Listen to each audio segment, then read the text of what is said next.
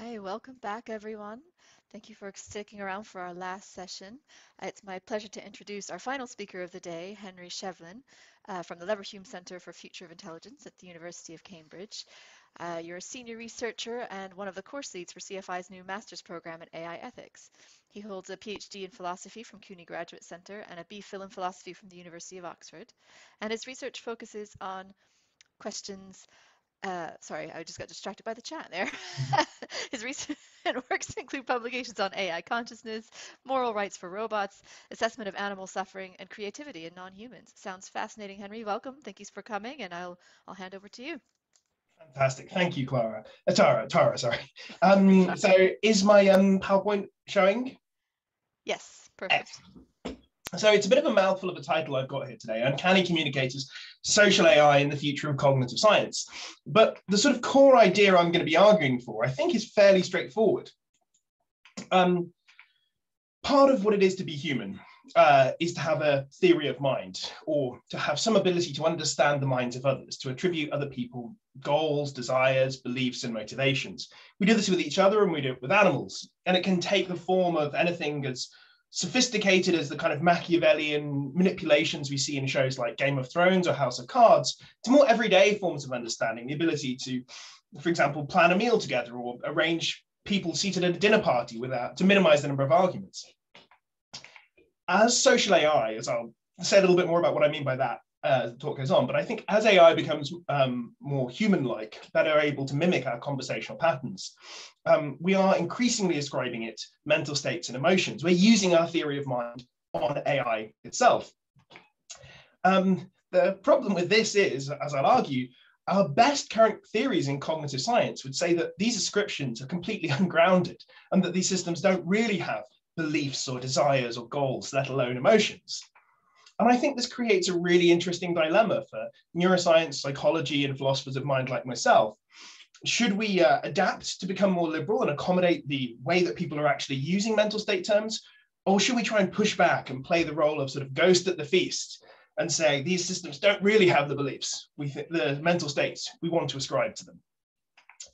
So a quick bit of background, I'm sure any most of the attendees today will know this has been a really transformative decade for artificial intelligence. Um, perhaps the most spectacular uh, example of this um, was the was AlphaGo's victory over Lee Sedol in the 2016 Google DeepMind Challenge match. Really took a lot of people by surprise. You know, Go was this famously computationally difficult game. People thought it would be at least another decade until the best Go systems, artificial Go systems, could compete with human players. So this took a lot of people by surprise. But looking back, a lot of it was a lot of signs were already there that we were undergoing a real AI revolution. Of course, since uh, 2016, AIs have taken on and beaten humans with growing ease in ever more varied games. Currently, uh, AlphaStar is in the 0.01% ranked StarCraft players. And this is a trend we're seeing across multiple domains. In some ways, you might think, look, AIs beating humans at games is nothing new. Uh, we all Many of us will remember Garry Kasparov losing to Deep Blue. And this reflects an idea in AI, sometimes called Moravec's paradox, which crudely put says that what's hard for humans is easy for AI. So that could be arithmetic, logic, playing a game like chess. And what's easy for humans, things like walking across the room without falling over, is surprisingly difficult for AI. But I think we're seeing uh, some progress. We have seen some progress from AI in trickier domains like image recognition things that seemed impossible just a few years ago can look increasingly routine. So this is a panel from uh, the webcomic XKCD, which I'm sure some of you will know. This is from, I think, uh, 2015. And it describes and it shows a, a program manager telling his prog programmer to uh, uh, develop an application to tell whether a photograph is of a bird.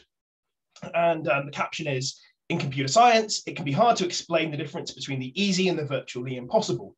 The implication being that correctly identifying whether a picture is of a bird is virtually impossible. And yet these days, that's a surprisingly easy challenge, at least for most, for most forms of pictures. We've come this far in just in the last six or seven years. The advances in this kind of tricky field have been not just confined to image processing, but also image generation. So OpenAI revealed a, a, system called DALL-E um, earlier this year that can generate images from text prompts. So here we have a one text prompt, a storefront that has the word OpenAI written on it. You can see the uh, see that these are all machine generated images down here.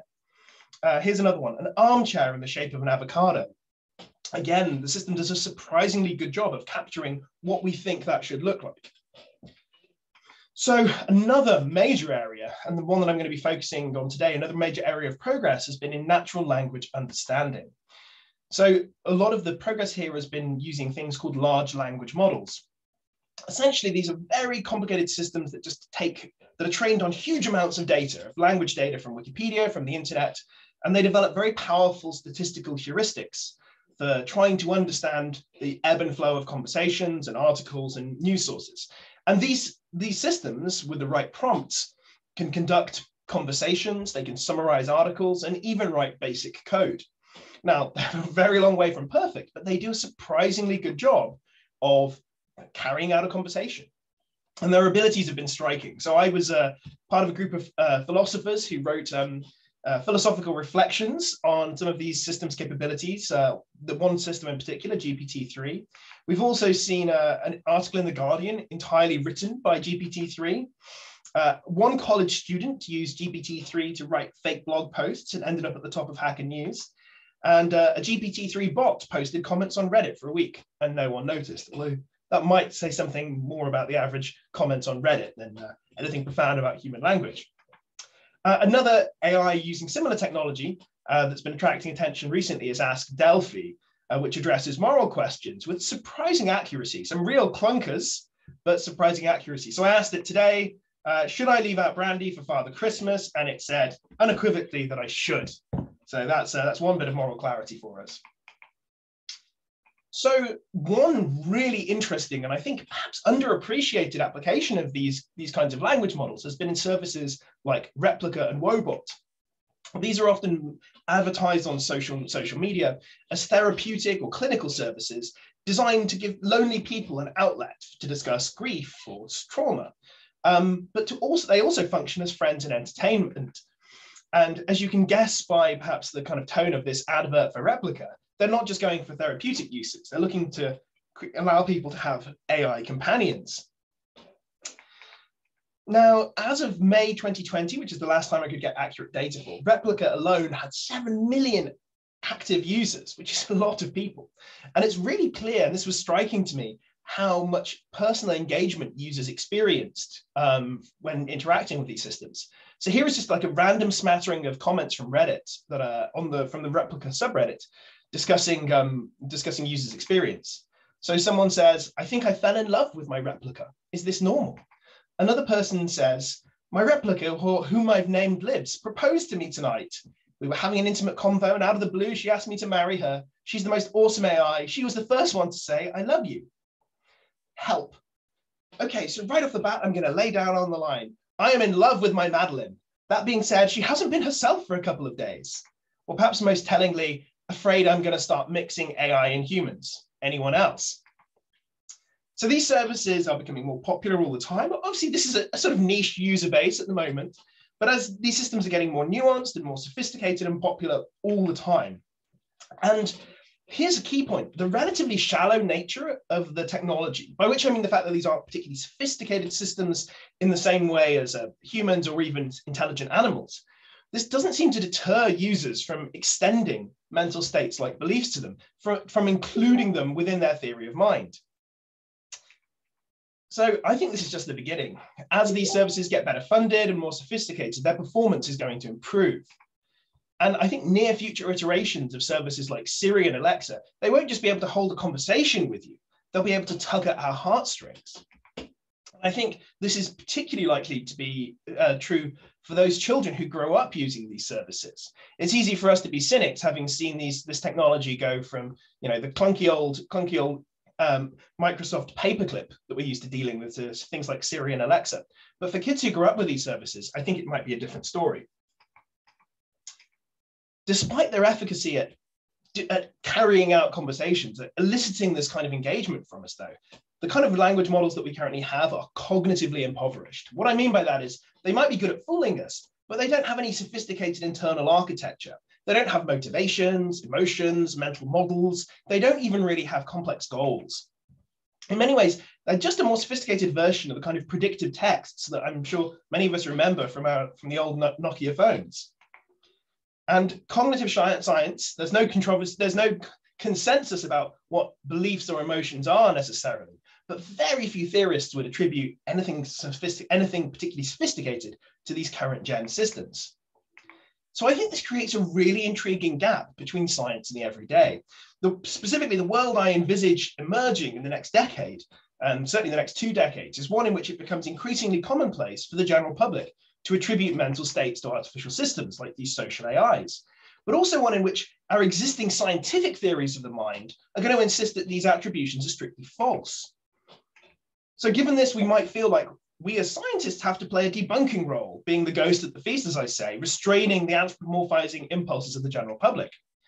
However, I imagine there's also going to be increasing pressure and increasing uh, motivation to look for more liberal theories of the mind that might take these idea, these artificial minds a bit more seriously.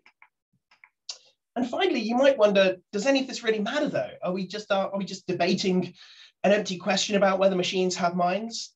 There's a famous quotation by computer scientist Edgar, Edgar Dijkstra who said, the question of whether a computer can think is no more interesting than the question of whether a submarine can swim.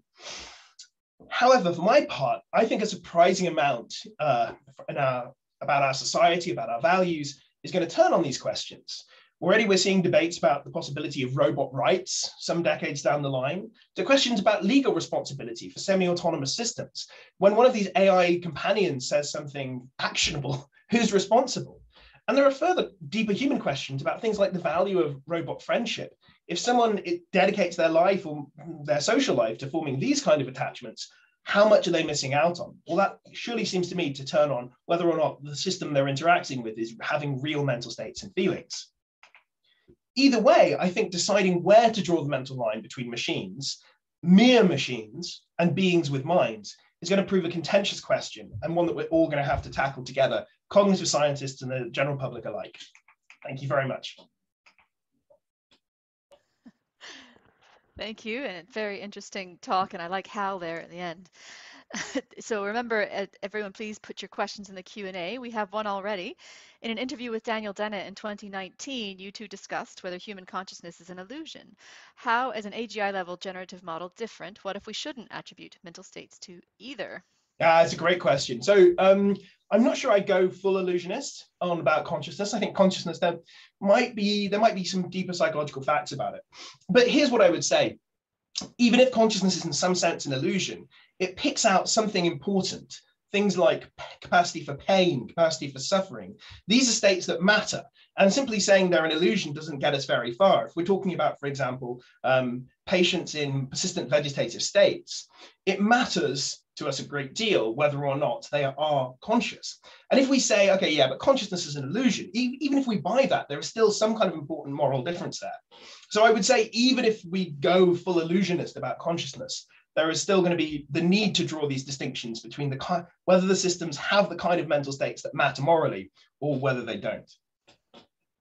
Thank you. And this is really timely because I can't remember the details, but I'm sure Radio 4 this morning was talking about automated sort of war robots.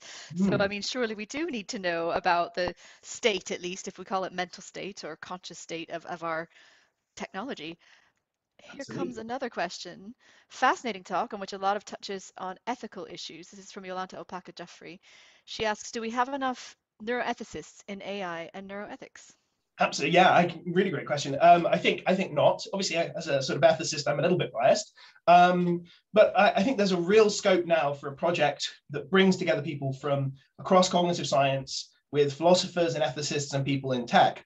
And um, you know, at the Leverhulme Centre for the Future of Intelligence here in Cambridge, we are running an AI Ethics and Society Masters aimed at sort of building this project.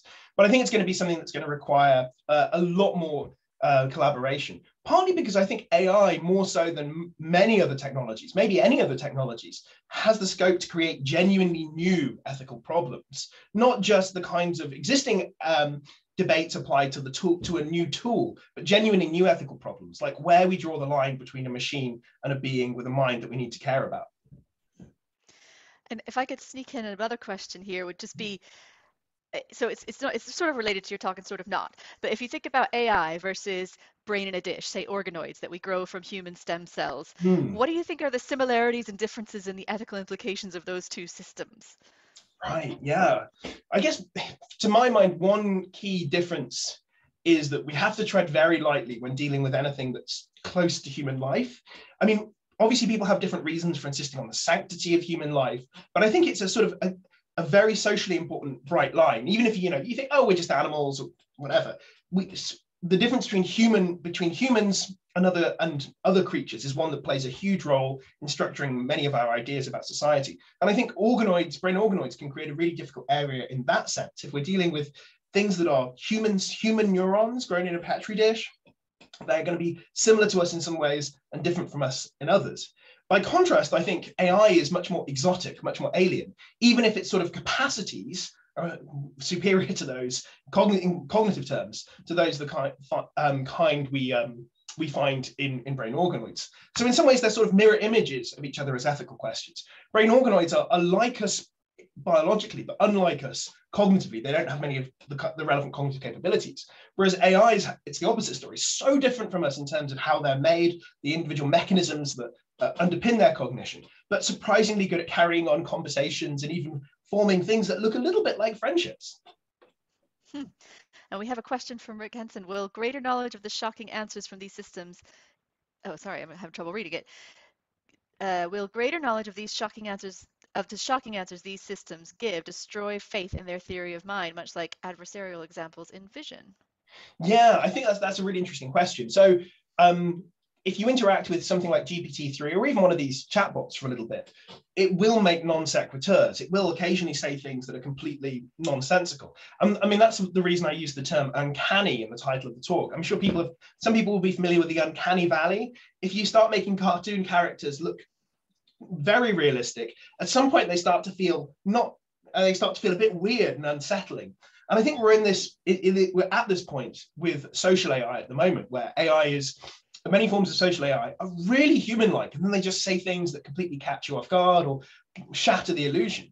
That said, it's not, um, it doesn't seem to stop many users of these services, like the examples I gave in the talk, from developing real and profound uh, feelings and um, sentiments towards these systems. So, um, and I think particularly interesting to my mind is going to be how children who grow up with these systems react. Whether they will be more cynical is one possibility, I suppose, or whether, as I suspect, they'll be more inclined to say, oh, well, yes, you know, sometimes Alexa says funny things that don't make sense, but so does Uncle George, you know, doesn't doesn't get in the way of either of them being uh, being beings with minds. Sure. We have an anonymous question. In a world where a machine mind appears human-like, what are the ethical implications of using these machines to research psychiatric illnesses? Yeah, it's a, it's a really interesting question. My sense is that we are, and people have different views on this, but my own view is that we're still quite a long way from any systems that deserve rights or moral consideration. Um, so I wouldn't be too worried at the moment. Um, and that's partly because my views on consciousness, which is another topic I've written quite a lot about. Um, I think we're probably at least a decade away, decade, maybe two decades away from systems that can uh, that have real consciousness. Um, on the other hand, I think it's important for us to bear in mind to, to have this on the horizon, as it were. As these systems become more and more sophisticated, maybe we do have to start to worry about using them as laboratory test subjects. Hmm. And we have one from Denny Lyle. Will we need to protect the easily biased slash led people? Yeah, well, this is this is a really interesting, tricky question. So on the one hand, I want to say, yeah, we, it's important that we debunk um, we debunk the idea that these systems might have minds. You know, you can imagine very lonely people, perhaps, who would uh, prioritize uh, interactions with their virtual boyfriend or girlfriend over interactions with real people. And we might think that's an important sort of loss. Um, so I think there might be scope there to say, hang on, we've got to make sure these systems don't um, don't monopolize people's time or exploit the vulnerable.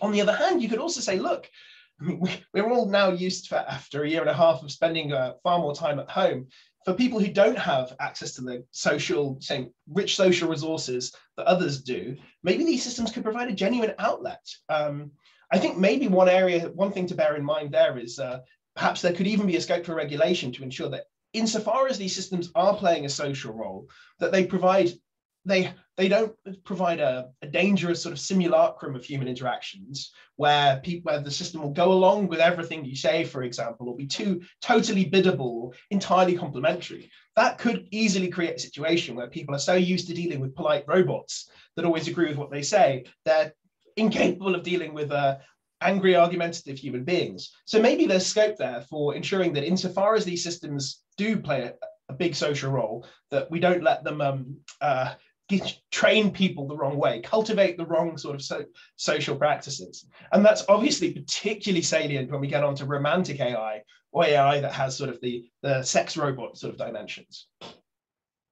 Absolutely. Well, for time, we, would better wrap up. If, if AI are this good at uh, language, I'm just saying transcription of lectures needs to be much sharper oh, from gosh. all these services, my word.